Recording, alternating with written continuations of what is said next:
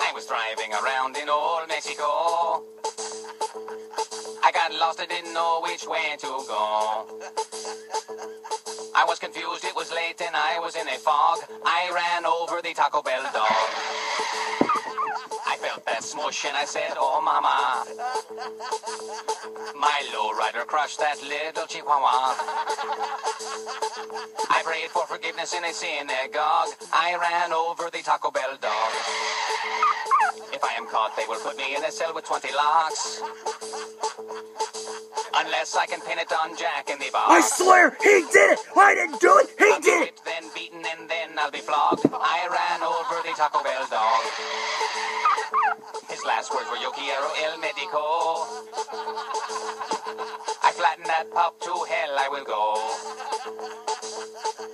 Should have skipped driving and gone for a jog. I ran over the Taco Bell dog. I ran over the Taco Bell dog.